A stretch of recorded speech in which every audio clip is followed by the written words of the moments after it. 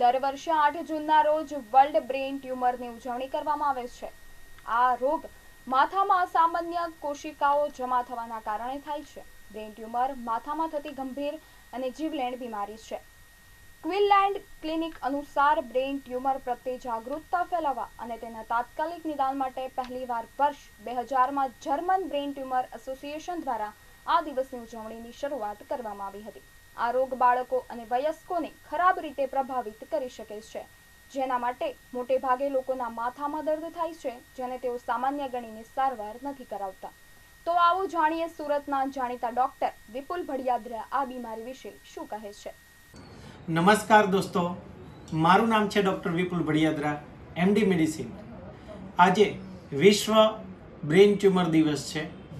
આજના દિવસ નિમિત્તે હું લોક જાગૃતિ માટે કંઈક કહેવા માંગુ છું.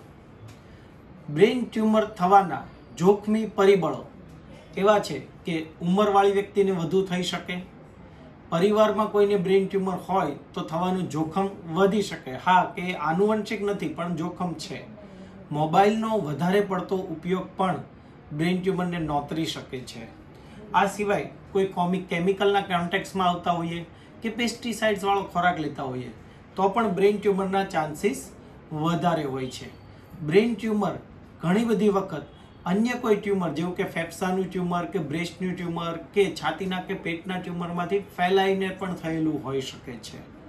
તો મિત્રો, આજના દિવસ નિમિત્તે આપણે સંકલ્પ કરીએ અને ધ્યાન રાખીએ કે વિશ્વમાં બ્રેઇન ટ્યુમરના કેસીસ ઘટે. ધન્યવાદ.